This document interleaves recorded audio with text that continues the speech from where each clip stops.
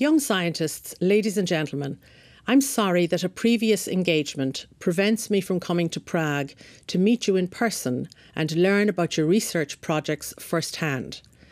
But I'm delighted to have the chance to welcome you to the 25th European Union Contest for Young Scientists. I don't need to tell you that science and technology are everywhere. They affect almost every aspect of our lives, and they are the keys to solving big problems like climate change, clean energy and transport, and secure supplies of food.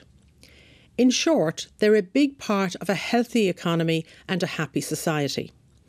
And in today's economic climate, it is more important than ever that young people like you have the skills to be successful. Science, maths, and technology help you understand our world, contribute to a better society, and prepare for rewarding careers.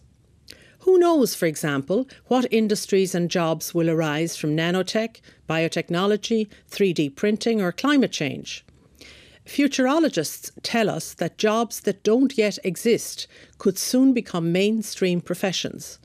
Jobs like memory augmentation surgeons, artificial intelligence programmers, augmented reality architects, body part makers, nano doctors, and urban vertical farmers.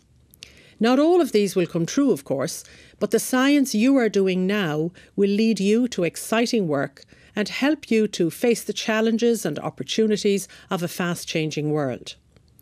The future is an open book, and you are the young people who will write the story.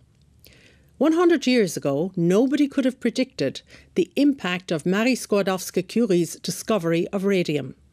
So we can only guess at the impact and spin offs from recent discoveries, like that of the Higgs boson by scientists at CERN.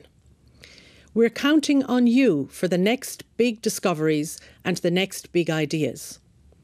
That's why the European Commission is very proud to support the European Union contest for young scientists every year. This contest is about acknowledging your curiosity and creativity.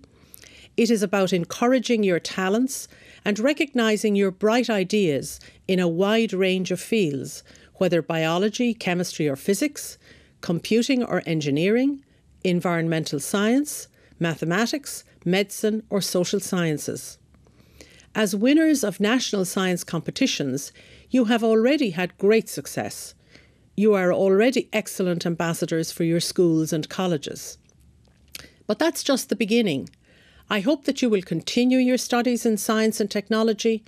I've no doubt that the seeds of many illustrious careers are being sown right here today. In fact, many previous winners of the contest have gone on to prestigious positions in major research facilities such as the European Space Agency and CERN.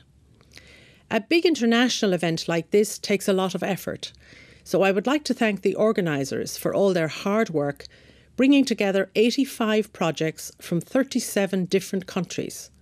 Speaking of which, I'm pleased to see that many young scientists from outside Europe are also participating in the International Prize. Excellent ideas and excellent science should know no borders. I'm also pleased to hear that over a third of you are girls. A scientist is a scientist, whether a man or a woman.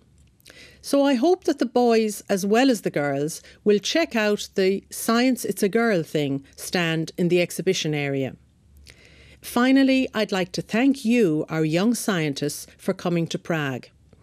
Congratulations on making it here and on having this opportunity to present your projects to the jury and, just as importantly, to your peers and future collaborators. You are all winners in my book. The best of luck to all of you and have a wonderful time in Prague.